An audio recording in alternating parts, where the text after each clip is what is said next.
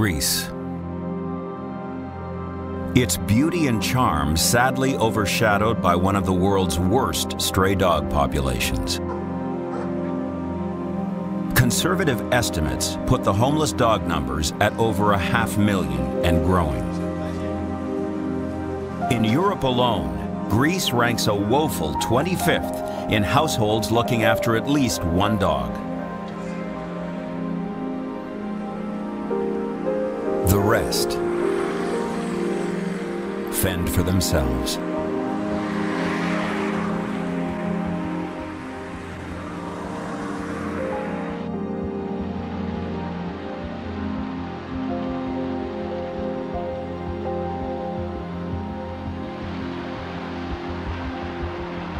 I think that there is greater need to save the Greek dogs because there's so many. Anastasia Summers, founder of Stray Paws from Greece Toronto Dog Rescue, Canada. The numbers here are so low compared to the hundreds of thousands of strays in Greece, and they are suffering. Uh, they get abused on daily basis. Uh, uh, they, we need to help these dogs.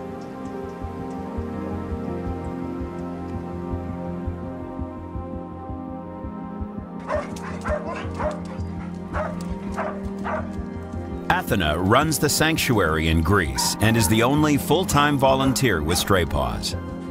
The process of choosing a dog, it kind of depends on, on the dogs we find and the state they're in. We try to choose those that are mostly in need, maybe sick or hit by a car or poisoned.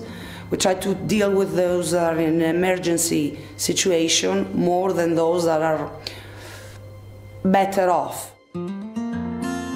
It's February, and Alex has a flight booked for Canada in a week. Unfortunately, this baseball-sized infection needs to be dealt with first.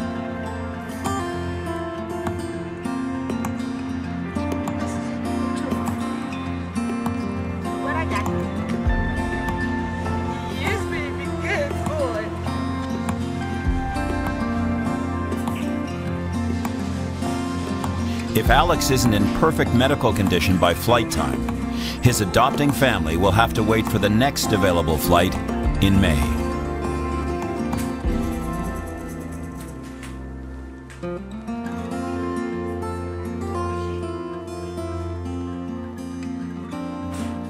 Alex will need surgery.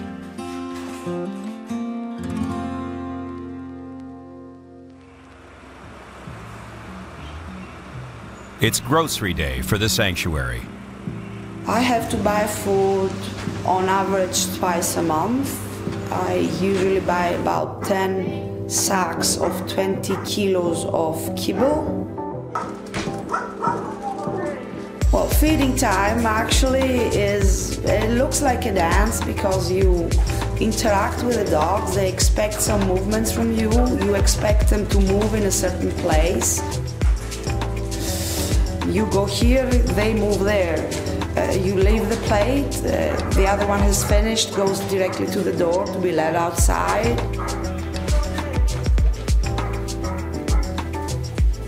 That's pretty much how it works.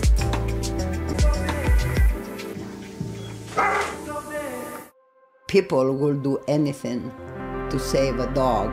Uh, they're risking their own lives many times to do that. So they will go on the street and feed stray dogs.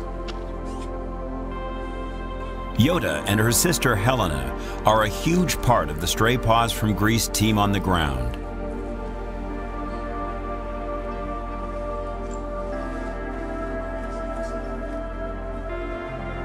Every day they make the rounds, seeing to it that as many homeless dogs as possible receive food, water, and even vaccinations.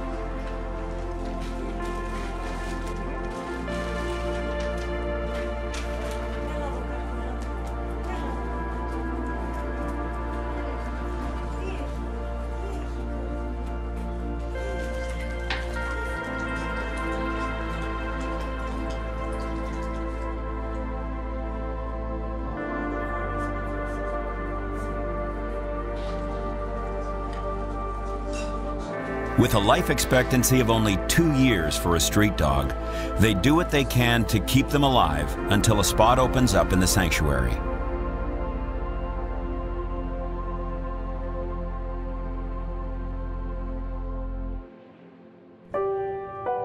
dog shelters here in Canada are like homes. They have heating and air conditioning, and they have people that care and they're clean and they're indoors. If you see a shelter in Greece, uh, it's it, it's outside. It's with chicken wire at best. Dogs fight. Uh, dogs get hurt. Dogs are sick. Uh, there is no uh, roof over it when it rains, they're in the mud. When it snows, they sleep on the snow in most cases. Uh, here is paradise compared to Greece. It's a big problem. There is no end to it. It won't be an end to it for a very long time. There are no laws, and, and when there is a law, people don't respect it.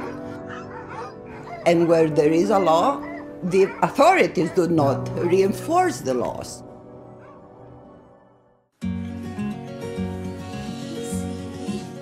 Alex is out of surgery. And the good news is it went perfectly. Unfortunately for Alex's forever family in Canada, they'll have to wait until May when Alex is fit to travel.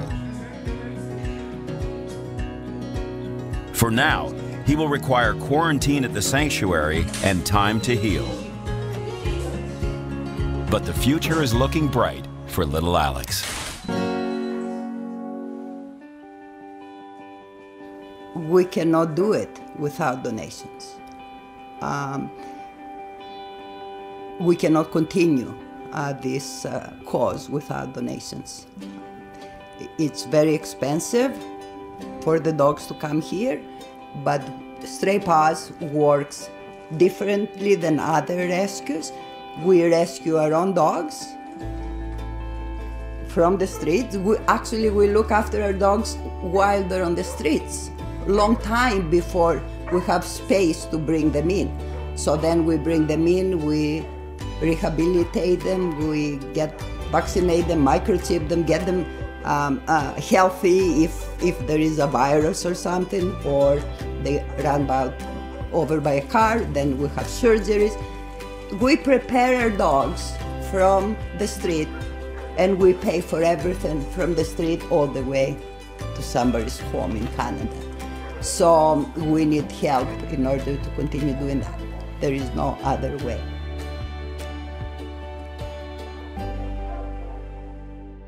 Meanwhile, back in Canada, little Noah and his mom and dad stay updated with videos of Alex sent by the Stray Paws team.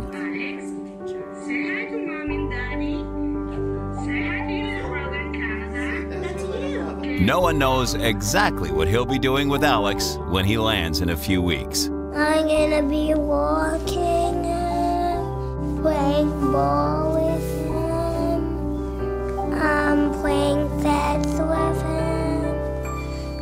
Only a few more sleeps. Um, feeding him.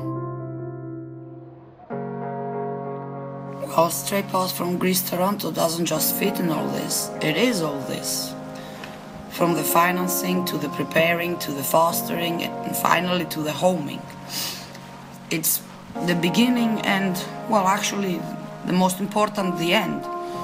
Stray Paws from Greece is everything. We wouldn't be able to save any dogs, and even if we did, we would be obligated to put them back on the streets again, where they will be killed in one day, two days, month. That would make saving them just moot.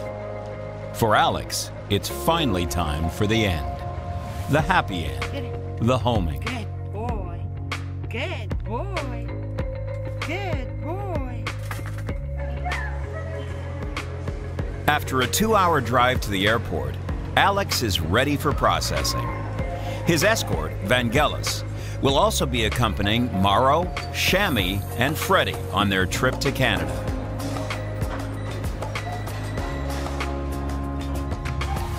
For flights that aren't direct, the dogs leave from Athens with a brief stopover in Frankfurt, where they're all walked. Then it's on to their forever homes in Toronto. Alex and the others are considered special cargo, which means they are off last. Their wait is almost over as Vangelis makes his way through customs with the dogs. Noah and his parents Phil and Tasha began their search for Alex last fall and were approved for adoption in December. It's now May, and Alex is almost close enough to touch. The last piece of the puzzle is for Anastasia to arrive with the necessary paperwork allowing for the crates to be opened.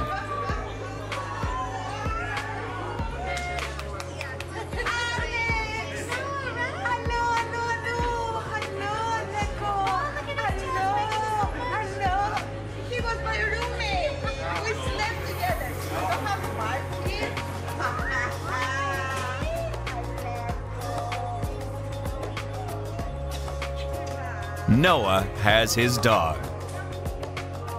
And Alex finally has his forever home. Four more dogs saved by Stray Paws from Greece, Toronto Dog Rescue.